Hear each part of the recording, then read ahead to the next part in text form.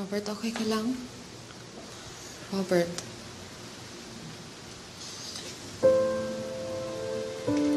Yeah. Sigurado ka? Ano bang nangyari? Kung tungkol to sa nangyari sa amin kahapon ni Daniela, Sana rin na maintindihan mo rin na ginagawa ko lang lahat ng ito para maayos ang lahat. alam ko, pero hindi ko talaga mapigilan ang sarili ko pagdating kay Daniela. Hindi ko na siya dapat pinatulan dahil alam kong hindi to nakatulong sa'yo.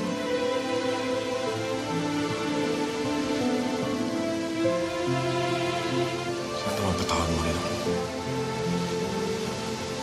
Bakit? Wala ka namang ginawang masama. Dahil hindi ko natupad sa iyong pangako ko na itutuwid ko sa Daniela. At patawarin mo rin ako sa lahat ng mga bagay na ginawa niya sa'yo. Umaasa pa rin ako na maayos ang lahat. At kung sana subukan mo rin na magkaayos kayo ni Daniela.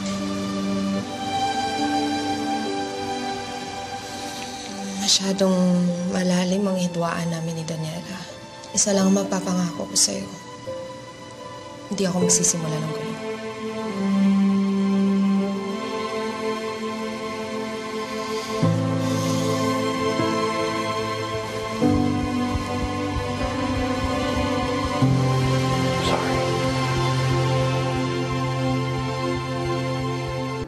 Sabihin mo lang ha kung natatapakan ko na yung buhok mo. Ang haba eh.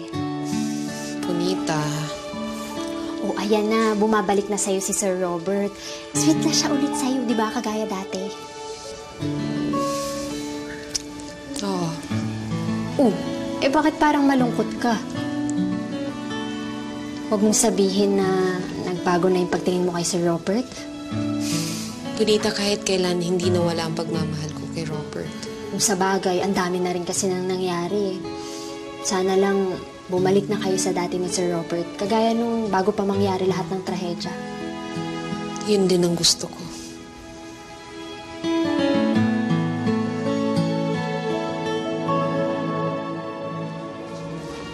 Excuse me, nasan si Daniela?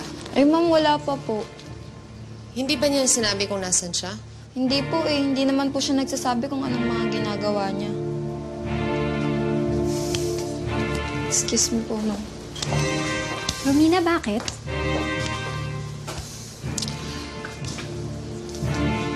May idea ka ba kung saan nagpupunta si Daniela o anong ginagawa niya? Dalawa lang yan. It's either gumagawa siya ng krimen o gumagawa siya ng paraan para sirain ka.